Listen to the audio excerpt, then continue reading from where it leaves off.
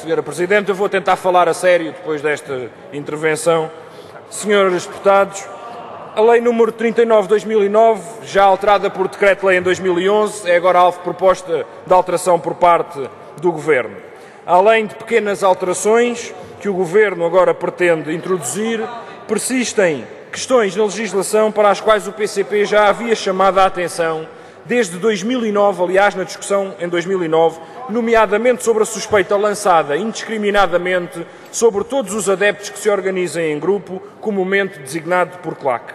É claro que é necessária uma intervenção política para combater os fenómenos da violência, xenofobia e racismo nos espetáculos desportivos. E parece-nos óbvio que tal combate será tanto mais eficaz quanto maior for o investimento na educação e na prevenção.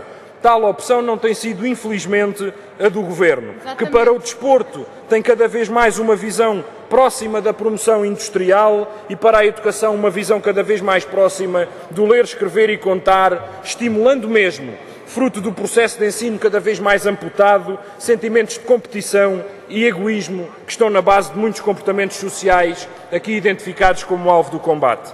Não pode haver, é certo, nenhuma tolerância para com manifestações de xenofobia, racismo, apelo ao ódio, à violência, nem à utilização de grupos de adeptos por estruturas de crime organizado. A proposta de lei agrava a moldura controle nacional e sancionatória e pouco mais propõe a criação de um ponto de contacto para a segurança e a obrigação de formação do coordenador de segurança. E pouco mais. Não podemos, todavia, deixar de relevar o impacto negativo que as políticas de privatização de toda a espécie de segurança, a pretexto dos custos, têm tido na resposta a fenómenos de desacatos de maiores dimensões junto ou dentro dos recintos desportivos persistem ainda, tal como a Comissão Nacional de Proteção de Dados indica e já indicou em 2009, dúvidas várias quanto à utilização de dados sensíveis para a aplicação de sanções, particularmente no que toca à presença de adeptos nos recintos. Mais do que isso, o PCP continua a opor-se à suspeita generalizada e indiscriminada lançada sobre todos os adeptos associados e não nos parece ser esse o caminho para a eliminação dos fenómenos e comportamentos de violência.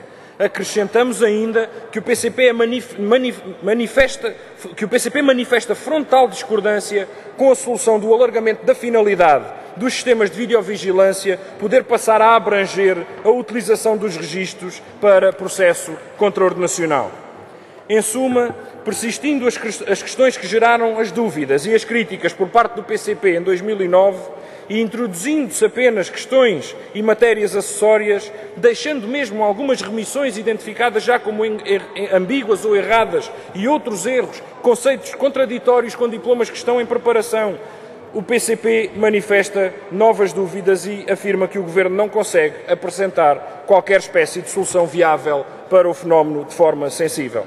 O que o país precisa é de uma política que desencoraje os fenómenos de xenofobia, racismo e violência, que promova o, o desporto como um direito e não como uma indústria. A solução meramente punitiva e, no contexto atual de desinvestimento e privatização das funções de segurança, não irá reduzir sensivelmente o fenómeno e esta operação de cosmética legislativa, como aqui já nos foi inclusivamente descrita, que em diplomas com ligação ao desporto já vem sendo prática, não muda em nada o facto de a política deste governo, a sua política de direita, deixar campo cada vez mais aberto ao racismo, à xenofobia e à violência dentro e fora dos recintos desportivos.